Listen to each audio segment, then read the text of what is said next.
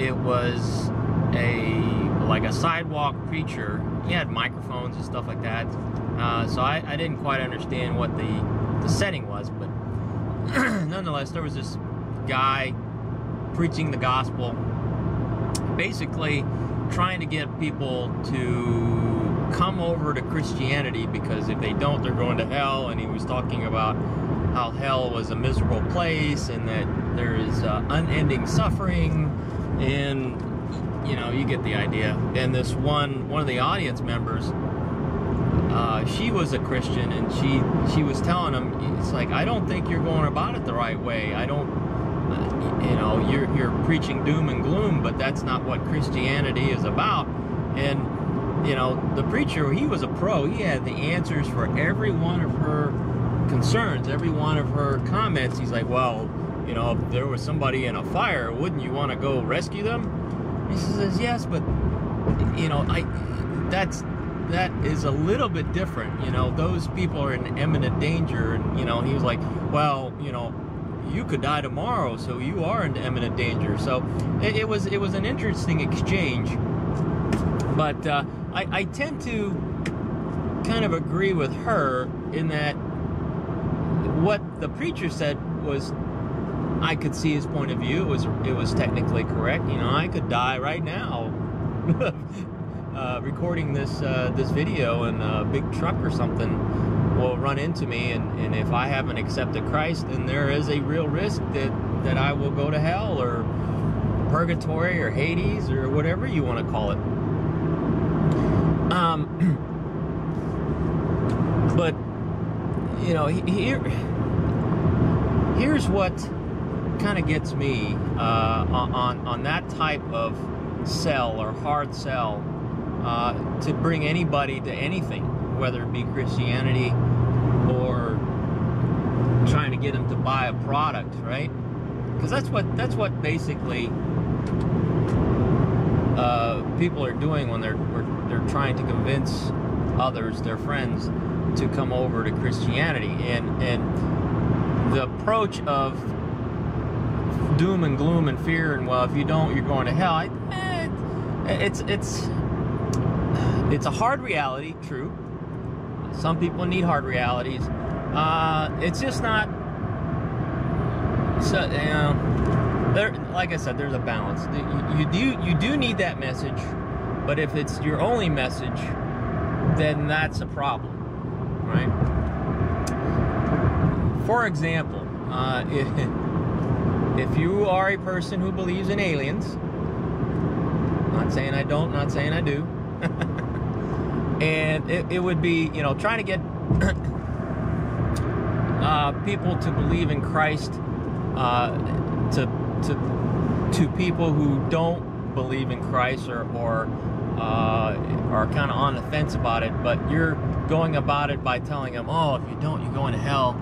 It would be to me uh, akin to telling somebody who doesn't believe in aliens, oh, well, uh, you know, uh, when the aliens come and you don't, you know, and, and, you don't believe in aliens, you're not going to be prepared, and, uh, uh, and, and they're going to catch you and they're going to probe you, and if you're not prepared for that, get your tinfoil hat and underwear on, uh, you're going to get probed. yeah. How does that sound? You know, that, that to me, that would be a very similar to somebody talking, uh, you know, fire and brimstone to you. If you one, if you you're you're not a religious person or or or a Christian. Uh, to me, the my approach, I wouldn't say the better approach. My approach is to maybe ask the person how have they seen miracles or things that, that shouldn't have happened but did happen in a good way work in their lives. Um, and, and, I try to live my life as an example. It's a it's a it's a longer approach, um, but to me, I, I think it's it, it, it, sticks. It sticks better, and it has uh, you know it. Uh, where I work, there there are two aspects to what I do. There there's the spirit of the law, and there's the letter of the law. Right. So the letter of the law says you must believe or you will die and go to hell. But the spirit of the law really is that, um, it, to me, to me, to me, to me, is trying to get you to be a righteous person or as righteous a person as possible, uh, given given human nature and the world we live in, and and the influences that that we're up against. So, the the the the guiding approach or the coaching approach is more long lasting and more genuine than oh my gosh i better believe or else i'm gonna i'm gonna go to hell i'm gonna get probed by aliens because when I read the Bible, uh, there's a lot of good information in there. Uh, personally, I, I, I, can't get my head around all of it. And, and that's the honest truth. One, because I wasn't there. I'm going on. Think about this. Even as a Christian, as a devout Christian, think about it chances are you weren't there when when it happened. You don't know the motivations of the people who wrote the book. I don't even really know who wrote the Bible or certain aspects of the Bible. Um, it's been translated throughout the years, and uh, just today in today's society, trans translating from even English to Spanish there are opportunities to lose things in translation. So back up 2,000 years ago and consider whoever wrote it originally, uh, I guess it was in Greek or Hebrew, and it was translated by, uh, and it, here's my limited understanding, uh, and, and this is what I love about YouTube. If, if you know better, or if you know the uh, uh, um, I wouldn't say better, but a more detailed uh, account of how the sequence of events happens. Um, my understanding is that in a in a kindergarten explanation, uh, the Bible was written by person A. it gets put away in the Dead Sea Scrolls, and person B finds it and gives it to person C, who translated it, and even persons uh, D, E, and F translate it. And then that was in ye olde English. and then now you have person G, H, and I who translated it into the Living Bible, the New uh, International Version, the whatever version. So there's it, it's been changed. The hands of, of this information have, have transpired through many hands, many iterations.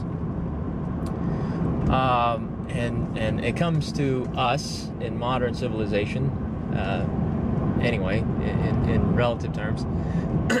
and we're supposed to believe what this book says. Now, you can argue that, well, it had the hand of God, so the gist of the information should be intact, right? Should, should be. Uh, but there are many, many, many sermons, many accounts of the same Bible passage uh, that I've heard that have different explanations. So if it was the hand of God, you would think it would have the same uh, translation or the same uh, story or background that goes with it. uh, now, mind you, they, they are similar.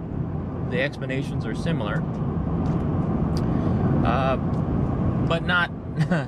I wouldn't say not exactly the same. So one, I wasn't there when all this transpired. I wasn't there when the first person A wrote the story down, or multiple persons A's. Uh, so that, you know, that in and of itself is you have to take the information with a grain of salt. And two, uh, you, let's say this person wrote down exact accounts. He followed the Jesus around, or or you know Moses around, and wrote all this stuff uh, as accurately as they could. Right, just kind of following around with a with a scroll and, and a quill, and and documented everything. But it was based on the context of their understanding of technology back then. Um, you know, they didn't even know about germs back then, right? So there's a lot of things that technologically they weren't aware of, but they wrote things down as they understood it. So then now we're trying to understand what they wrote in the context of today. Um, so that's a problem. Okay. And then third, the third thing that, that I can't really get my head around is that even today, when you hear a news report or a news account of uh, anything, anything that happened, uh, if you were actually there, you would say it didn't happen like that, right? And, and this is instant information, eh, or as instant as you can get it and they still can't get it right. So now you're expecting some dude 2,000 years ago, thereabouts, to to wait till he can get to his papyrus and ink and and quill to document things accurately. Um, uh, so that 2,000 years later, people can look back and say, "Oh, that's what happened on that day." Uh, I find that a stretch. Now, trust me, I I'm not saying that not to not believe it, uh, but I'm just saying it, it for non-believers, as I was. It was a hard it was a hard sell. It was hard to to get my head around. It was hard to to trust and have faith that this information was true. Now, where I'm at in my spiritual journey, I look at the Bible as as somebody would look at a huge mural painting, right? I just kind of take it all in and, and get kind of a, a feel for the message that that big mural is trying to tell me. I don't look at every single dot and detail and say, oh, well, this painting is about this as it relates to this two square inches or one square inch of, of paint. Um, so I try to look at the big, broad, overall picture of what the Bible is trying to tell me. Uh, and, and, there are little bits and, and, pieces of details that, that I do kind of hone into because they do kind of accentuate the theme of what the Bible is trying to tell me. Um, but it, it's it's just hard to uh, base what the teachings are on one or two passages you know, when people want to argue certain things, yeah, I'll pick out bits and pieces to where people say, well, the Bible says this. So I counter, well, it also says this. So, you know, if, if you're going to pick on that one piece, um, then how do you how do you answer this one piece, which seems to counteract what you're interpreting this part of the Bible as saying? So, in the end, to me, the hard sell, you know, the fire and brimstone, and, and if you don't believe, you're going to die and go to hell. Um, it's all part of the message. It's all part of the message, and people do need to hear that. But to try to get people to believe, uh, I, I, don't think is a is as effective as giving testimony on how on the positives and, and how that's worked in my life. And, and, and i guess going back to you know even though i don't necessarily believe or trust that uh, everything in the bible that's written in the bible is is a hundred percent true account.